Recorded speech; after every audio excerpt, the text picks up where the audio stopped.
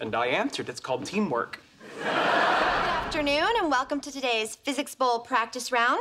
I'm Penny and I'll be your host because apparently I didn't have anything else to do on a Saturday afternoon, and isn't that just a little sad? Gentlemen, are you ready? Yes. Of course, fire away. You know, it's none of my business, but isn't a guy who can't speak in front of women gonna hold you back a little? Oh, he'll be okay once the women are mixed into the crowd. He only has a problem when they're one on one and smell nice. Oh, thanks, Raj. It's vanilla oil. I was actually the one who noticed. Okay, let's just start. Okay, the first question is on the topic of optics. What is the shortest light pulse ever produced?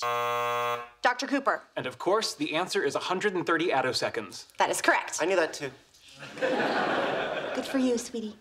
Okay, next question. What is the quantum mechanical effect used to encode data on hard disk drives?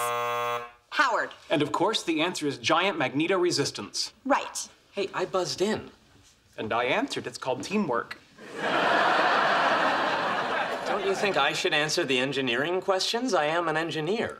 By that logic, I should answer all the anthropology questions because I'm a mammal. Just ask another one. Okay. What artificial satellite has seen glimpses of Einstein's predicted frame dragging? And of course, it's Gravity Probe B. Sheldon, you have to let somebody else answer. Why? Because it's polite. What do manners have to do with it? This is war.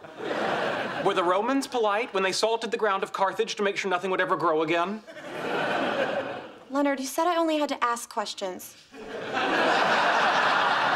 The objective of the competition is to give correct answers. If I know them, why shouldn't I give them? Some of us might have the correct answers too. Oh, please, you don't even have a PhD. All right, that's it. Howard, sit down. Okay.